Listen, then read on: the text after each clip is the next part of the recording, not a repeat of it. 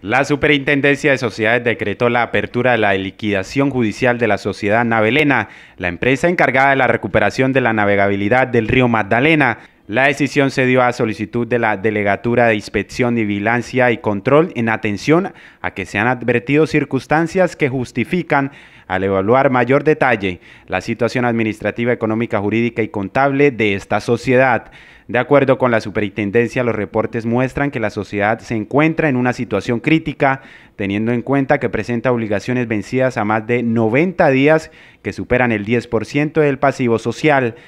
Por los demás, la sociedad ha quedado imposibilitada para desarrollar su objetivo social